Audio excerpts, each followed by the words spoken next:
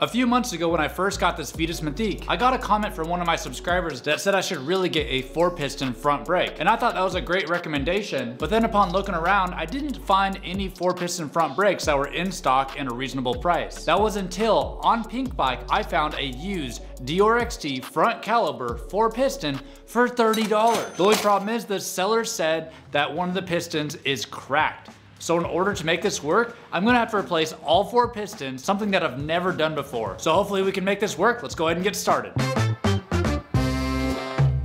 There's really nothing online that says how to do this. I found one video where a guy was using a water syringe and pushing that into the caliper, but that didn't work for me. It didn't have enough pressure in the caliper to push out the piston. So I was left scratching my head. I had absolutely no clue what to do. After scouring the internet, I found on MTBR that someone was using an air compressor to get out the air piston. So then I tried to use this needle that's used to pump up balls for your bike pump. That wasn't going into any of the valves. I couldn't get a good seal, so that wasn't working. Ah, I think we found our leak. That's definitely some mineral oil coming through, and it looks like the three other pistons are fine. What really changed the game is this IFP adapter valve that I use on my RockShox rear shock rebuild. Luckily the caliber had the same thread as the rear shock and I just threaded this right on and plugged up some of the holes and I could use my air compressor to easily just shoot this piston right out of it.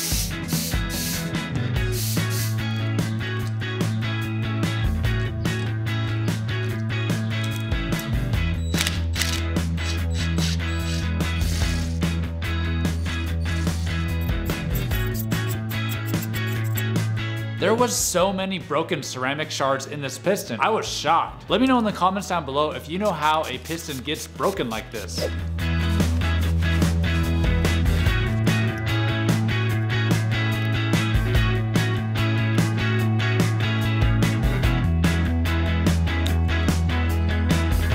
Picked up this replacement four piston rebuild kit for $42 off Amazon. It looks like the cost of a Deore XT caliber four piston is about 110 to $120. So with me picking up this caliber for $30 and the replacement pistons for $42, that puts me at 72 bucks, which is a lot cheaper. And also I had a lot more fun doing it.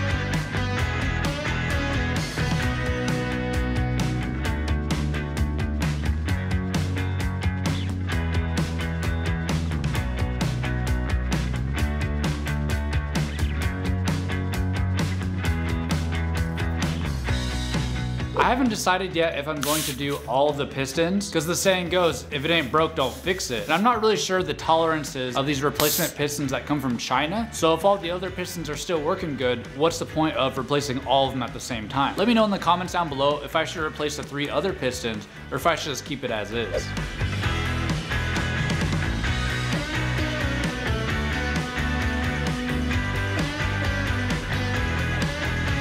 The caliper that I bought didn't come with any brake pads. I'm sure those brake pads were ruined anyway because of the mineral oil that was leaking all over them because of the cracked piston. So I was able to go to my local bike shop and they had these aftermarket brake pads for $15. So we'll see how they work out. I hope they work just as good as the Shimano brake pads, but I'm not gonna hold them to it. They said the replacement Shimano brake pads were gonna be like $50 or something.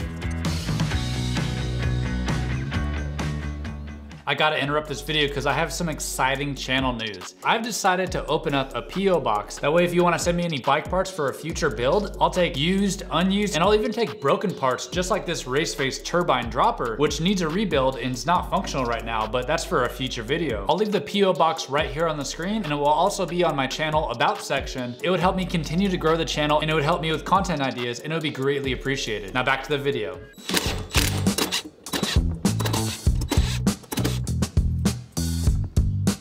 This rotor is the 203 millimeter Magura rotor, and I'm not really sure how I feel about it. It was about $30 on Amazon. This thing is so huge. I'm really liking this blue adapter to use the 203 millimeter rotors. I feel like it adds a little bit of flair, and in case you haven't noticed, I've been adding some blue touches to this bike.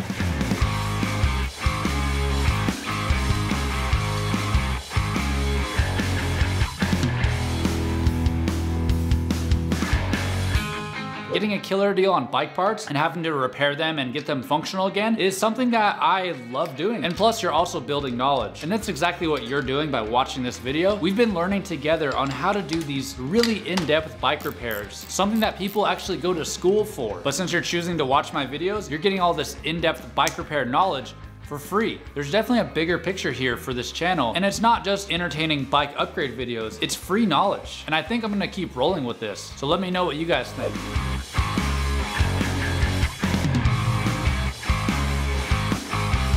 The mineral oil also had a ton of contaminants, and the color was no longer clear, bright red, so I'm glad that I did a full bleed. And plus, I did inject a ton of air into the system.